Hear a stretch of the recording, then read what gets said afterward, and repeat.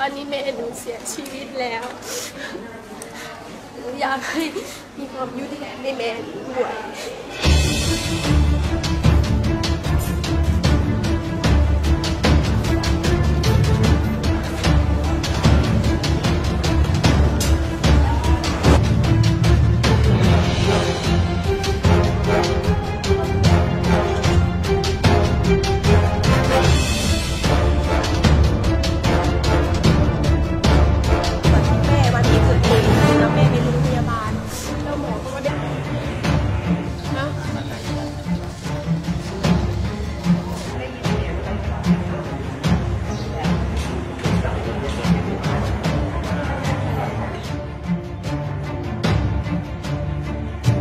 จะไม่ได้สักบาท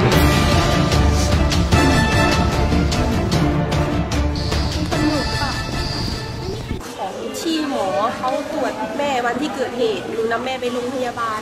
แล้วหมอเขาก็ได้เขียนแล้วว่า อวัยวะเพศของแม่ ได้ฉีกขาดทั้งท่อปัสสาวะ แล้วก็ปากปากปากมดลูกแล้วหนูก็เห็นเลือดด้วยคาตา มันก็ตรงกับที่หมอบอกว่า แผลที่เกิดขึ้นไม่ได้เกิดขึ้นเองค่ะ คุณหมอบอกว่าแผลนี้ไม่ได้เกิดจากการเกิดขึ้นเองหรือยายทำตัวเอง คือเกิดจากถูกกระทำค่ะความคืบหน้าคดีนี้เป็นยังไงคะ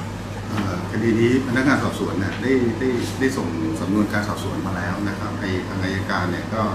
พิจารณาดูแล้วนะครับ มันมีข้อไม่สมบูรณ์ข้อบกพร่องอยู่หลายประการอาจจะต้องมีการสั่งสอบสวนเพิ่มเติมทั้งพยานแวดล้อมแล้วก็ตัวผู้เสียหาย